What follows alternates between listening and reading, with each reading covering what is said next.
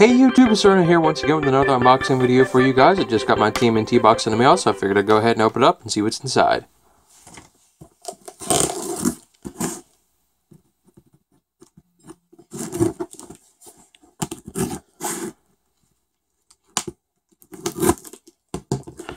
Alright, so let's go ahead and take a look.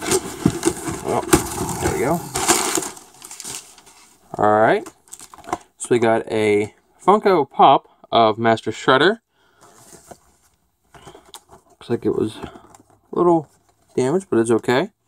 Couldn't gotten any one of the turtles, Master Splinter or Master Shredder. We got one of these bad boys.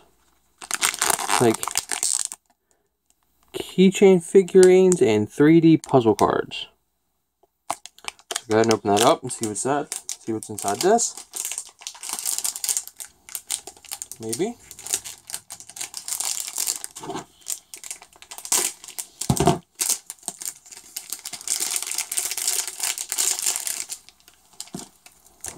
Alright, so we got Splinter.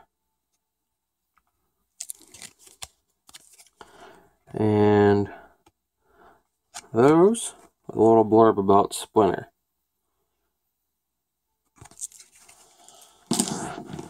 Alright, next we got a necklace. And cutout figurines. You reverse side and cut me out, posting a picture alongside with your gear. You could win. Huh. It's a little different.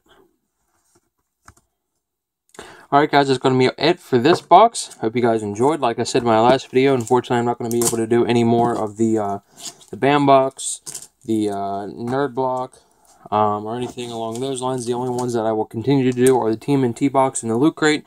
Unfortunately, this time I cannot afford anything other than those two, um, but hopefully in the future I will be able to get back into doing those because um, I know I personally enjoyed them. Um, they're nothing against companies whatsoever, um, but just fortunately the way of life. Um, hope you guys enjoyed. If you did, don't forget to like, subscribe, and uh, share this video, and I'll see you guys in the next one.